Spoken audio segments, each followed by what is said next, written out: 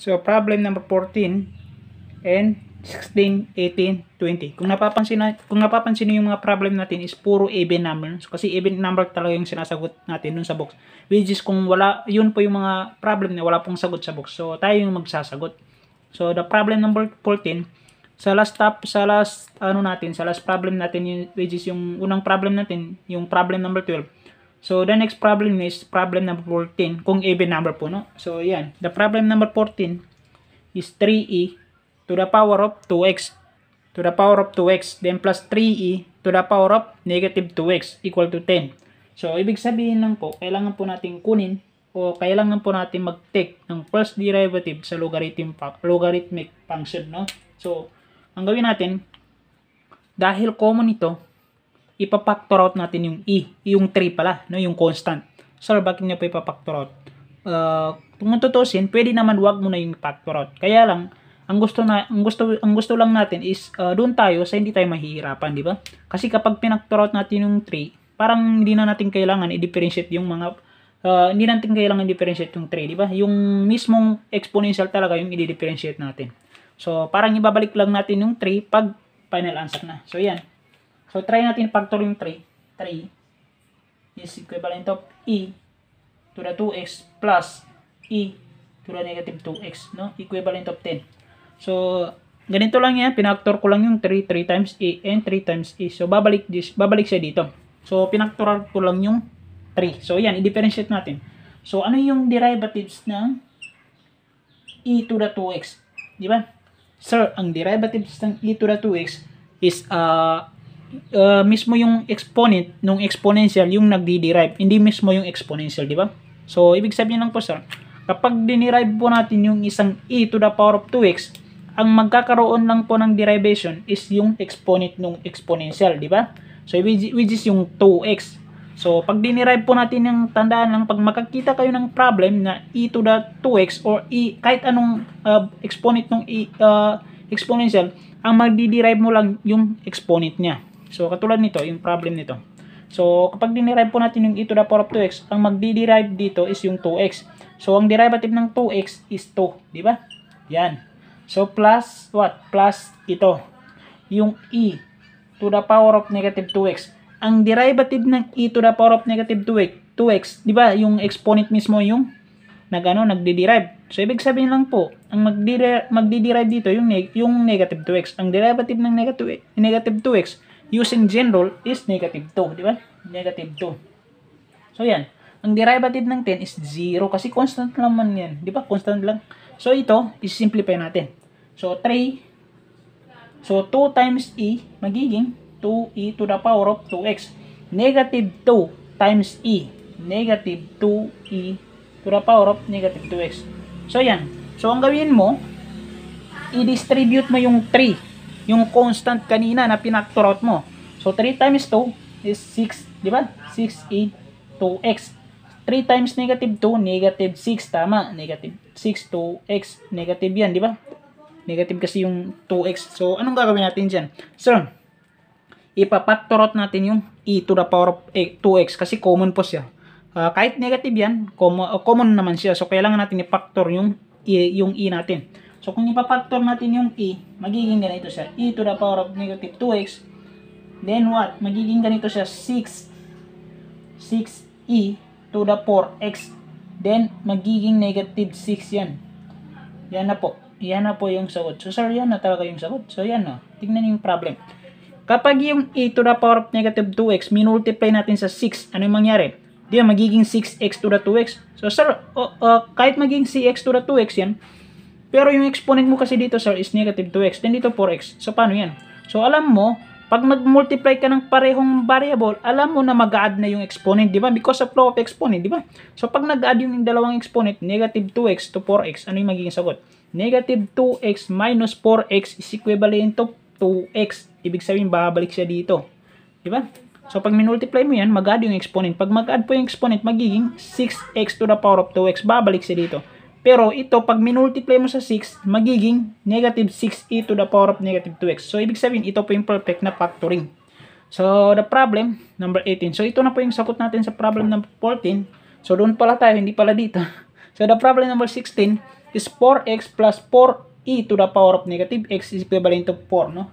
So, ang gawin mo, alam ko sir na ang derivatives ng 4 to the x is parang uh, derivation sa logarithm which is yung a to the which is yung uh, u to the power of ln no? So parang ganoon siya. So parang uh, parang parang ganito siya. Parang a to the power of ln siya which is yung a sa 4 no? So magiging ganito siya. Pag dinerive po natin diyan gamit yung properties of uh, exponential magiging ln of 4 multiply by 4x so parang ganyan siya. Parang ganyan.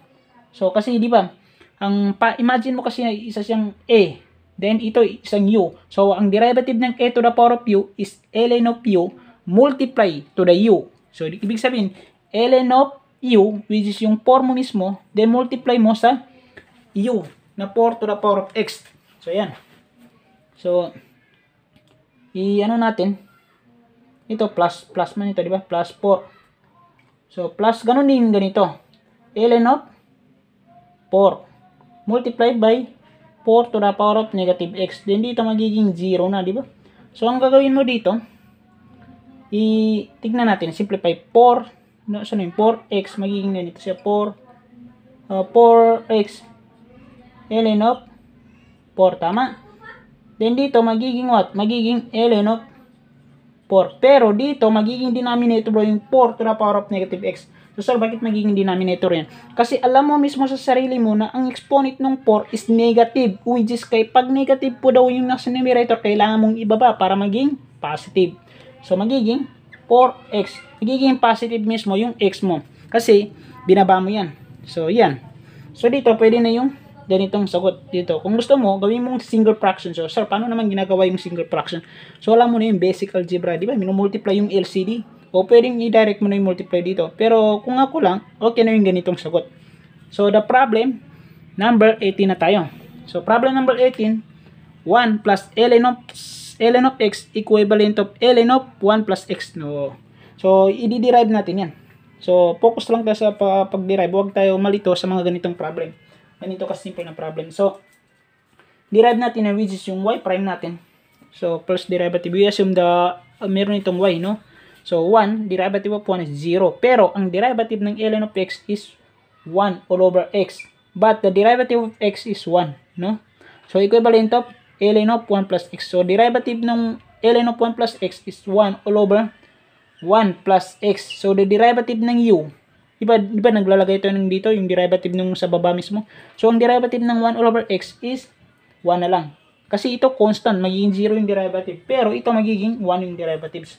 So, simplify natin. So, y prime is equivalent to 1 all over x. Then, ito magiging 1 all over 1 plus x. So, ito, i-consider na okay yung ganitong sagot o okay na yung ganito. Kung gusto mo i sa kung baga, sir, hindi ako satisfied o hindi pa ako kontento sa ganitong sagot. So, wow, hindi hindi talaga siya kontento. So, i-simplify mo. So, gawin mo implicit form. So, implicit form by y prime ang gawin mo is dito is i-divide mo. Ito, i-divide mo by 1 over x kasi ito, magiging coefficient na yung y prime which is factor out na mismo yung y prime. By, kapag divide mo ng 1 over x, magiging 1 all over x dito. So, ang magiging sagot mo dito is what? Ito, mag-reciprocal. So, magiging x all over 1 plus x. Tama?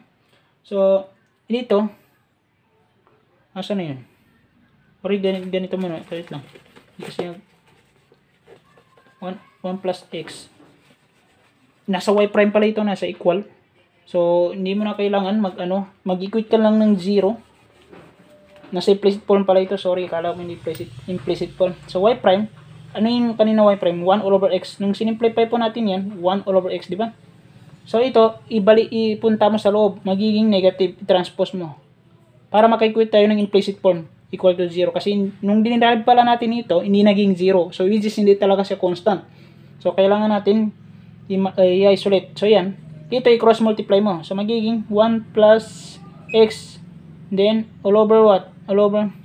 Dito, i-multiply mo dito, magiging negative x. Then, dito, multiply mo dito, magiging x times 1. x yan, di ba? x times x, positive x squared. So, dito, ang makancel dito is ito, pati ito, di ba? Wait lang, di pala nakikita, sorry. So, ito, ito, ito yung magka-cancel mo. Ito, pati ito. Yan. So, ang matira dito is 1 all over x plus x cubed. So, ito na yung sagot mo sa problem number 18. Pero, kahit dito pa lang, okay naman yung ganitong sagot, yung equal mismo. Pag sinimplify mo, mag equal So, parang ganun. So, kung gusto mo i-simplify, so, simplify mo pa kung gusto mo talaga. So, yan.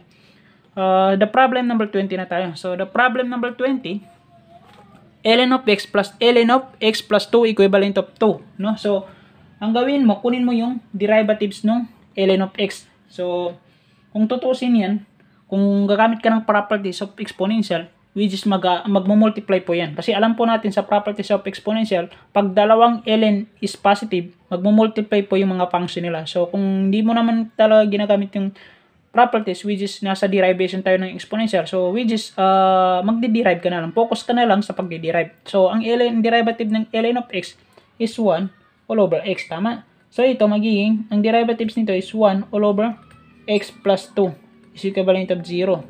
So, but the derivatives nito is 1. So, dito is 1, uh, 1 din.